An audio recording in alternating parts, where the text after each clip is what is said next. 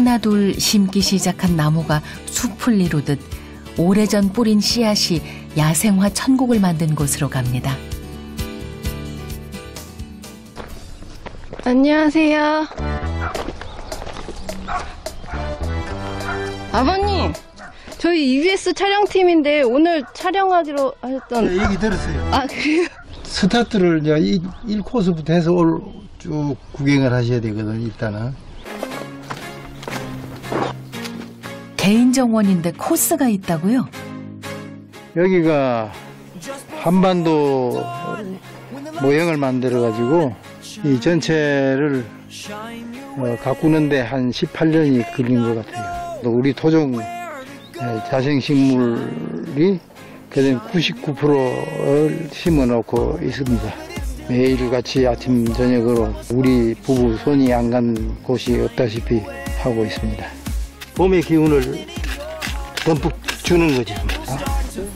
부부의 정원에는 야생화가 무려 360여 종이 있습니다. 얘는 속새라는 애인데요. 만지면 까칠까칠해요. 여기가 표면이. 그래서 이제 우리 손톱 소재할 때 이렇게 이런 데 이렇게 하- 할 정도로 하면 여기가 이렇게 갈려요. 이 손톱이. 뭐 그렇게 뭐 쇠처럼 심하게 세게는 안 되지만 이렇게 하면은 청소가 됐대요. 이렇게.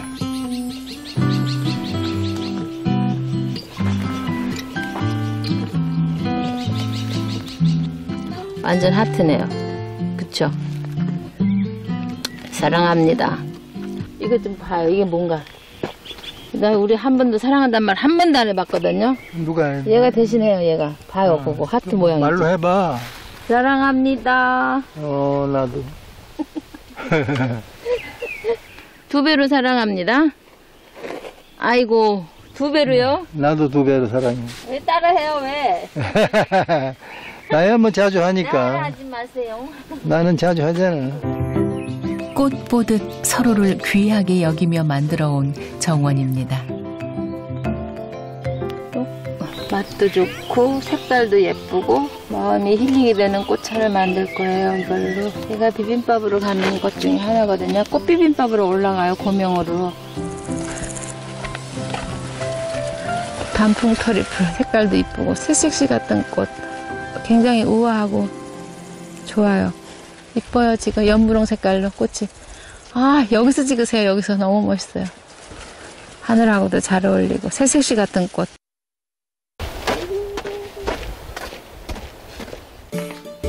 여기 있습니다. 오전 일을 마친 부부의 점심시간.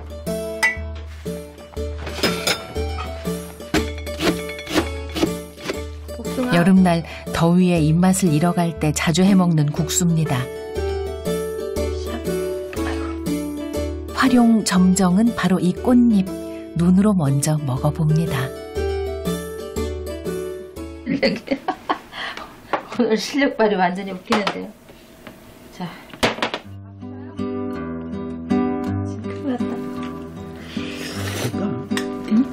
됐어? 그런데 그냥 눈으로 잡숴요, 오늘은. 우리 학교 다닐 때 이거 되게 많이 뜯어 먹었어, 길거리에서. 아유 맛있다. 진짜 맛있어. 맛있다고.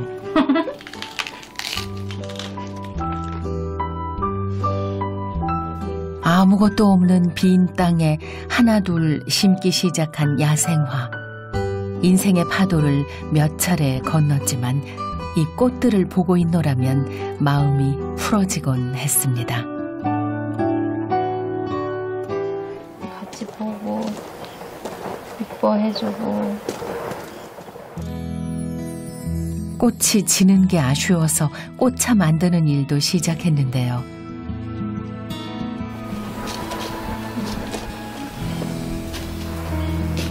되게 구수한 냄새가 나요.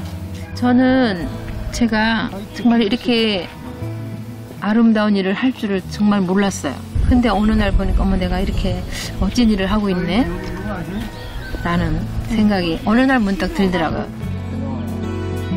꽃차를 마실 때마다 지난 날들이 주마등처럼 흘러갑니다.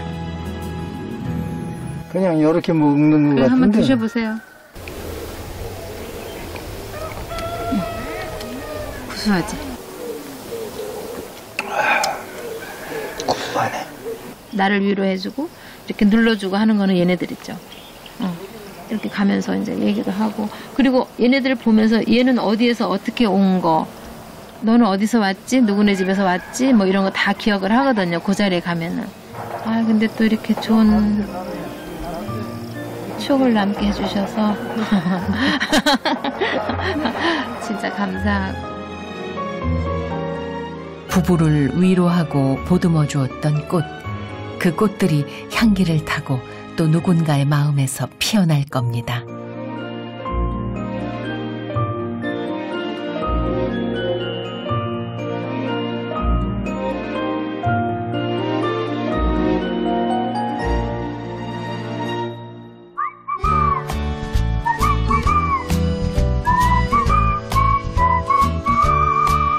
꿀이가 아니고 초저녁 꿀이겠지. 아, 밤, 밤 꿀은 완전히 밤인데 밤이 조금 들어갔으니까 초저녁이겠지. 시아버지 개그십니다. 웬 떡이냐? 꿀떡이지.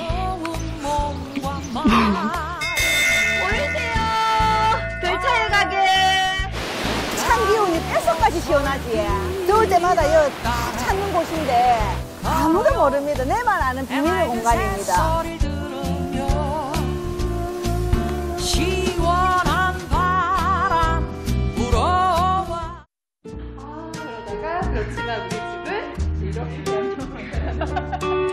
catching teardrops in my hand. My heart